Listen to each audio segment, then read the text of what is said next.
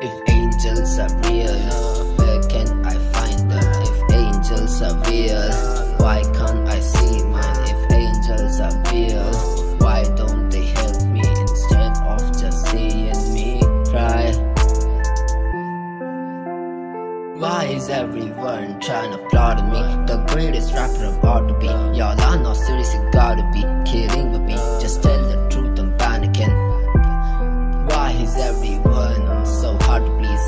different taste